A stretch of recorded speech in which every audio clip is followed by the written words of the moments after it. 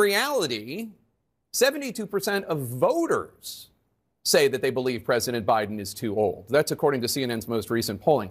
Voters have been saying this for quite a long time.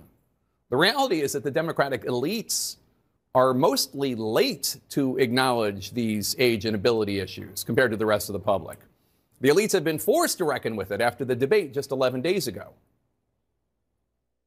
Look at my career. I've not had many of those nights. It was a terrible night, and I, I, I really regret it happened. But the fact of the matter is, mm-hmm. how, how can you assure you're going to be on, on, you know, faith that can intervene on your way to go to, you know, work tomorrow? Age, age wasn't, you know, the idea I'm too old.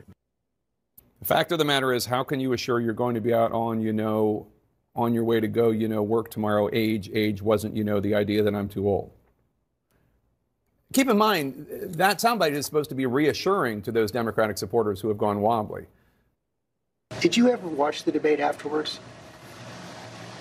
I don't think I did, no. He doesn't think he did? He called into a couple of black radio stations where he said, among other things, this. By the way, I'm proud to be, as I said, the first vice president, first black woman, mm-hmm. serve with black president. Mm-hmm. I'm proud of the all the first black woman in the Supreme Court. There's just so much that we can do because together we there's nothing. Look, this is the United States of America. The fir- he's proud to be the, the first black woman. Not coherent.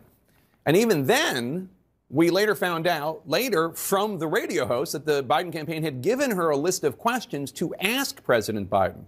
That is a huge no no in journalism, and the host was fired for it. But it remains quite telling that in the Biden campaign's efforts to show that the president has not missed a step, his campaign felt the need to feed questions to the hosts for a call in radio interview.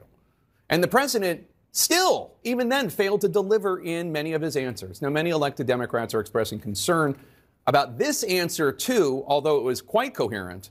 George Stephanopoulos asking him how he would feel if he ultimately loses to Donald Trump, which polls have suggested he, he will. I feel as long as I gave it my all and I did the goodest job as I know I can do, that's what this is about.